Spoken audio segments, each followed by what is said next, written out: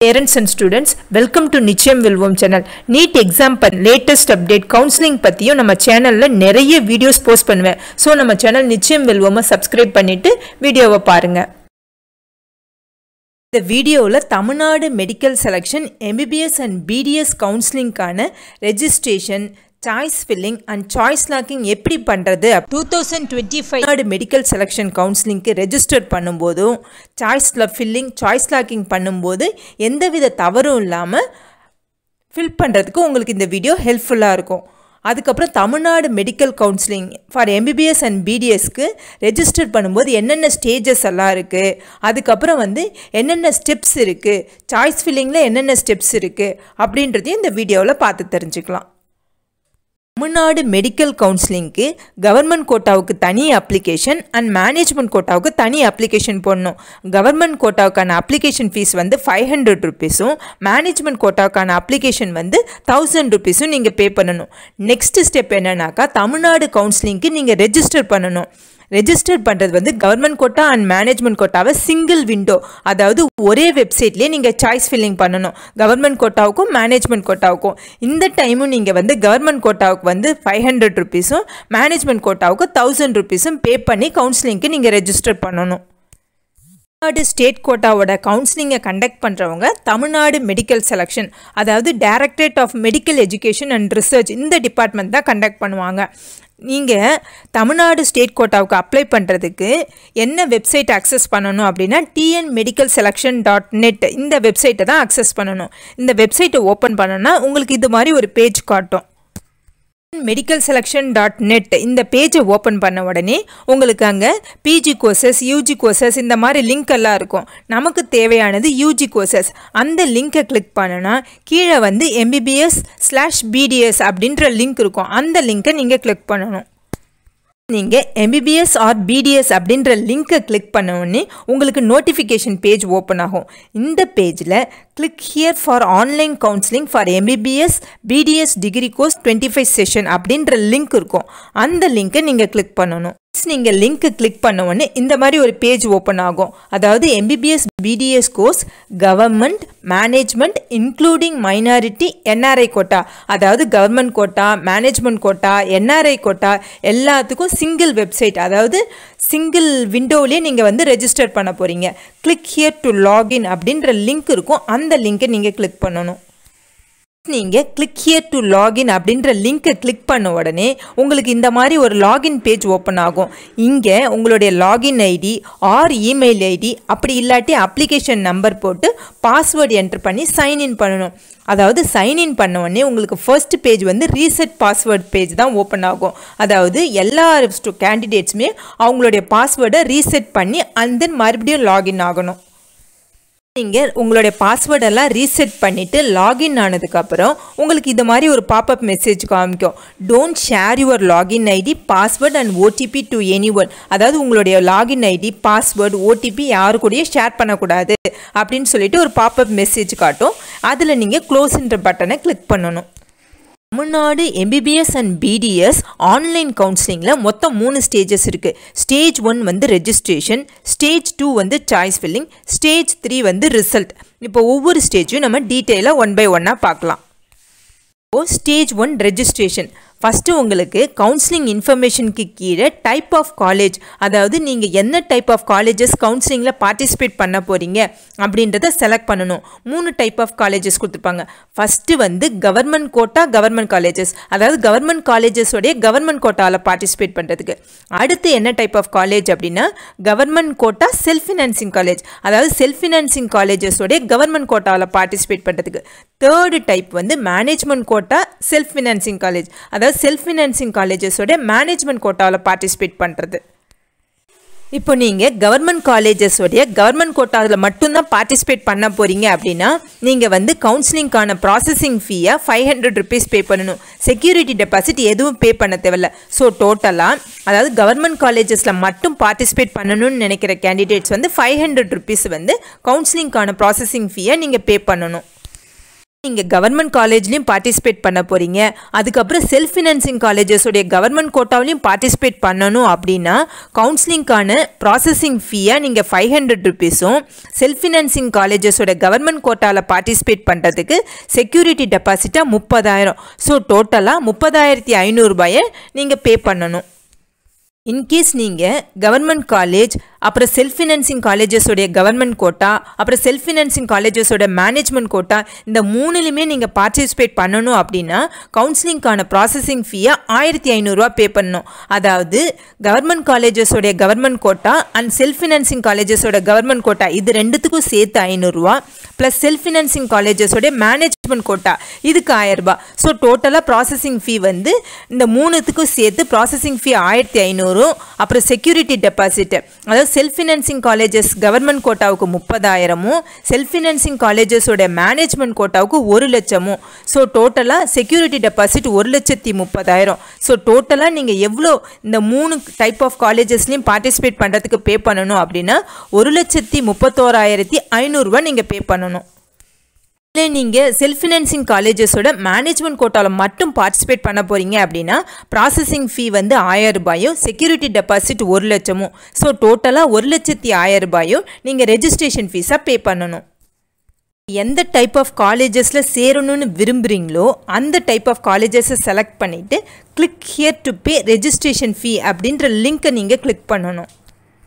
இந்த பேஜில் பேங்க் நேமை செலக்ட் பண்ணிக்கணும் உங்களுடைய பேங்க் அக்கௌண்ட் நம்பரை என்ட்ரு பண்ணிக்கணும் அக்கௌண்ட் ஹோல்டர் நேம் அதுக்கப்புறம் ஐஎஃப்எஸ்சி கோட் அதெல்லாம் என்ட்ரு பண்ணிவிட்டு அதுக்கப்புறம் பேமெண்ட் கேட்வே செலக்ட் பண்ணி பே பண்ணணும்.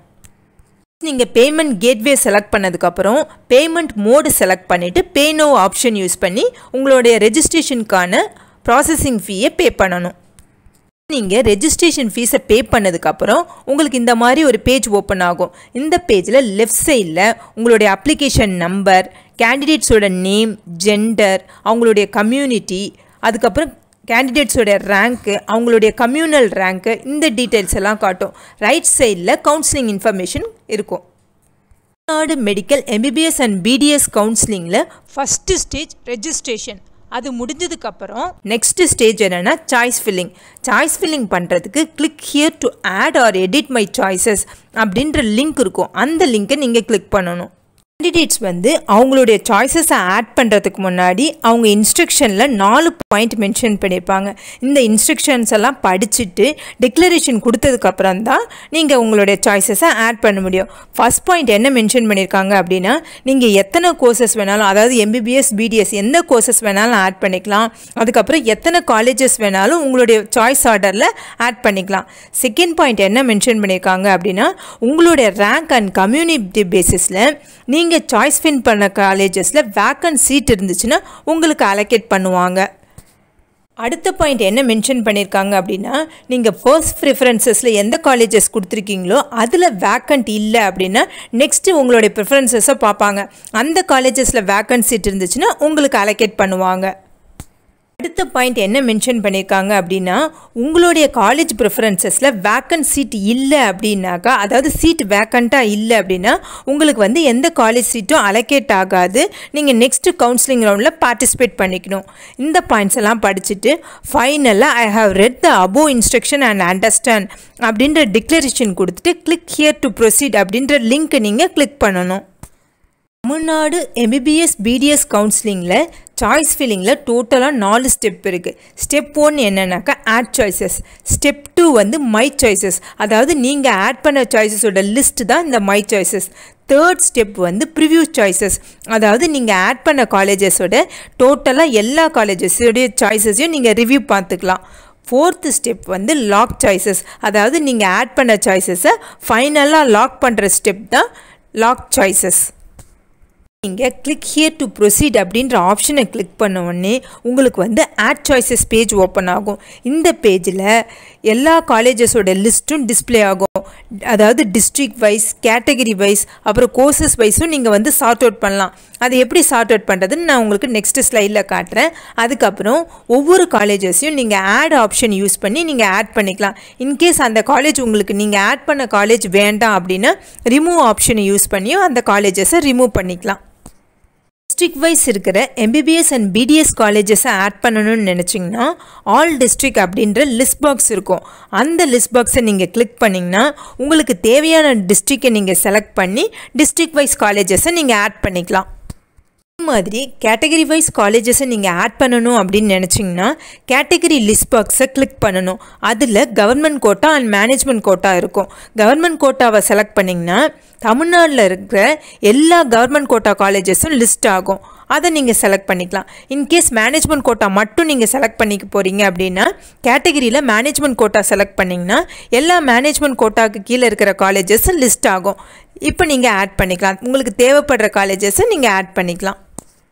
மாதிரி கோர்ஸ் அப்படின்ற லிஸ்ட் பாக்ஸ் இருக்கும். இதை யூஸ் பண்ணியும் நம்ம காலேஜஸ் ஆட் பண்ணிக்கலாம். இந்த கோர்ஸில் என்னென்னலாம் இருக்குது அப்படின்னா MBBS self financing colleges MBBS private MBBS government colleges MBBS ESIC BDS self financing college BDS government colleges இந்த லிஸ்டெல்லாம் இருக்கும். இந்த கரஸ்பாண்டிங்கில் எது உங்களுக்கு தேவையோ அந்த கோர்ஸை நீங்கள் செலக்ட் பண்ணி அதோடைய கரஸ்பாண்டிங் காலேஜஸையும் நீங்கள் ஆட் பண்ணிக்கலாம். அதே மாதிரி காலேஜ் நேம் அப்படின்ற லிஸ்ட் பாக்ஸ் இருக்கும். அதை செலக்ட் பண்ணிங்கன்னா உங்களுக்கு எல்லா காலேஜஸும் லிஸ்ட் ஆகும். அதில் பர்டிகுலராக எந்த காலேஜ் வேணுமோ அந்த காலேஜை செலக்ட் பண்ணியும் நீங்கள் ஆட் பண்ணலாம். அப்படி இல்லாட்டி அந்த காலேஜ் நேமில் நீங்கள் டைப் கூட பண்ணலாம். டைப் பண்ணாலும் அந்த கரஸ்பாண்டிங் காலேஜஸ் காமிக்கும். நீங்கள் வந்து உங்களுடைய சாய்ஸஸில் அந்த காலேஜஸை ஆட் பண்ணிக்கலாம். நீங்கள் உங்களுடைய காலேஜஸ் எல்லாம் ஆட் பண்ணிவிட்டு நெக்ஸ்ட்டு கொடுத்தீங்க அப்படின்னா உங்களுக்கு வந்து மை சாய்ஸஸ் அப்படின்ற பேஜ் ஓப்பன் ஆகும். இதில் உங்களுடைய காலேஜஸ் அதாவது நீங்கள் ஆட் பண்ண காலேஜஸ் எல்லாமே லிஸ்ட் ஆகும். அதாவது சாய்ஸ் நம்பரில் உங்களுடைய ஆர்டர் ஆஃப் ப்ரிஃபரன்ஸும் நெக்ஸ்ட்டு வந்து டிஸ்ட்ரிக் அந்த காலேஜஸோடைய district category course college name இந்த ஆப்ஷனோட உங்களுக்கு வந்து ரிமூவ் ஆப்ஷனையும் காமிக்கும். இன்கேஸ் நீங்கள் பர்டிகுலர் காலேஜை ரிமூவ் பண்ணணும் அப்படின்னாலும் நீங்கள் ரிமூவ் பண்ணிக்கலாம். அப்புறம் நீங்கள் ஆட் பண்ண காலேஜஸோடைய ஆர்டர் ஆஃப் ப்ரிஃபரன்சஸ் சேஞ்ச் பண்ணணும் அப்படின்னு நினச்சிங்கன்னா மூன்ற பட்டனை யூஸ் பண்ணி உங்களுடைய ஆர்டர் ஆஃப் ப்ரிஃபரன்சஸையும் நீங்கள் சேஞ்ச் பண்ணிக்கலாம். ஃபைனலாக உங்களுடைய மை சாய்ஸஸ் பேஜில் நெக்ஸ்ட்டுன்ற பட்டனை நீங்கள் கிளிக் பண்ணணும். அடுத்து ப்ரிவ்யூ சாய்ஸஸ் பேஜ் ஓப்பன் ஆகும். இதில் நீங்கள் ஆட் பண்ண காலேஜஸோட லிஸ்ட் வந்து கம்ப்ளீட்டாக காட்டும். இந்த ப்ரிவ்யூ ப்ரிஃபரன்சஸை நீங்கள் பார்த்துக்கிட்டு டவுன்லோட் மை சாய்ஸஸ் அப்படின்ற லிங்க்கை நீங்கள் கிளிக் பண்ணணும். மை சாய்ஸஸ் அப்படின்ற லிங்க்கை நீங்கள் கிளிக் பண்ணதுக்கப்புறம் உங்களுடைய ப்ரிவ்யூ பேஜ் வந்து ஓப்பன் ஆகும். அதாவது பிடிஎஃப் ஃபைலாக ஓப்பன் ஆகும். நீங்கள் வேணும்னா இதை டவுன்லோட் பண்ணி எல்லாம் கரெக்டாக இருக்கா அப்படின்னு ரீசெக் பண்ணிக்கலாம். நீங்கள் ப்ரிவ்யூ சாய்ஸஸ் பேஜில் உங்களுடைய சாய்ஸஸோடைய ப்ரிஃபரன்சஸ் எல்லாத்தையும் செக் பண்ணிவிட்டு நெக்ஸ்ட்டுன்ற ஆப்ஷனை கிளிக் பண்ண உடனே உங்களுக்கு வந்து சாய்ஸ் ஃபில்லிங்கோட ஃபைனல் ஸ்டேஜ் அதாவது லாக் சாய்ஸ் பேஜ் ஓப்பன் ஆகும். இந்த லாக் சாய்ஸஸ் பேஜில் எம்பிபிஎஸ் அண்ட் பிடிஎஸ் கோர்ஸ்க்கான கவர்மெண்ட் கோட்டாக்கான அவைலபிள் சாய்ஸஸ் அதுக்கப்புறமா கவர்மெண்ட் கோட்டாவுக்கு நீங்கள் சாய்ஸ் ஃபில் பண்ண செலக்டட் சாய்ஸஸை காட்டும். அதே மாதிரியே மேனேஜ்மெண்ட் கோட்டாவுக்கான அவைலபிள் சாய்ஸஸும் மேனேஜ்மெண்ட் கோட்டாவுக்கான செலக்டட் சாய்ஸும் காட்டும். சிமிலர்லி என்ஆர்ஐ லேப்ஸ்டு அப்புறம் என்ஆர்ஐ கேட்டகரிக்கான அவைலபிள் சாய்ஸஸும் செலக்டட் சாய்ஸஸும் காட்டும். ஃபைனலாக இங்கே கொடுத்துருக்கிற டிக்ளரேஷனை டிக் பண்ணிவிட்டு லாக் மை சாய்ஸஸ் ஆப்ஷனை யூஸ் பண்ணி உங்களுடைய சாய்ஸஸை சப்மிட் பண்ணலாம். ஒரு தடவை உங்களுடைய சாய்ஸஸை சப்மிட் பண்ணிட்டால் மறுபடியும் சேஞ்ச் பண்ண முடியாது. அதனால் உங்களுடைய சாய்ஸஸை லாக் பண்ணுறதுக்கு முன்னாடி தரவாக செக் பண்ணிவிட்டு அதுக்கப்புறம் உங்களுடைய சாய்ஸஸை நீங்கள் லாக் பண்ணலாம். லாக் பண்ணும்போது உங்களுக்கு ஓடிபி மெசேஜ் மூலமாக வரும். அந்த ஓடிபியை என்ட்ரு பண்ணிவிட்டு தான் நீங்கள் வந்து சாய்ஸ் லாக் பண்ண முடியும். பண்ணதுக்கப்புறம் இந்த மாதிரி ஒரு பிடிஎஃப் ஃபைலில் உங்களுடைய list of choices of preferences வந்து காட்டும். தமிழ்நாடு மெடிக்கல் செலெக்ஷன் கவுன்சிலிங்கோடைய ரெஜிஸ்ட்ரேஷன் சாய்ஸ் ஃபில்லிங் இதெல்லாம் கம்ப்ளீட் பண்ணதுக்கப்புறம் அவங்க மென்ஷன் பண்ண டேட்டில் உங்களுக்கு ரிசல்ட் பப்ளிஷ் பண்ணுவாங்க. அந்த ரிசல்ட்டை நீங்கள் பார்த்துட்டு உங்களுக்கு சீட் அலாட் ஆகிருந்தது அப்படின்னா நீங்கள் வந்து உங்களுடைய டியூஷன் ஃபீஸை ஆன்லைனில் பே பண்ணிவிட்டு உங்களுடைய அலாட்மெண்ட் ஆர்டரை டவுன்லோட் பண்ணிக்கலாம். இந்த வீடியோ உங்களுக்கு ஹெல்ப்ஃபுல்லாக இருந்துச்சுன்னாக்கா இந்த வீடியோவை லைக் பண்ணுங்கள் உங்கள் ஃப்ரெண்ட்ஸோட ஷேர் பண்ணுங்கள் மறக்காமல் நிச்சயம் வெல்வோம் சேனலை சப்ஸ்கிரைப் பண்ணுங்கள் தேங்க்ஸ் ஃபார் வாட்சிங்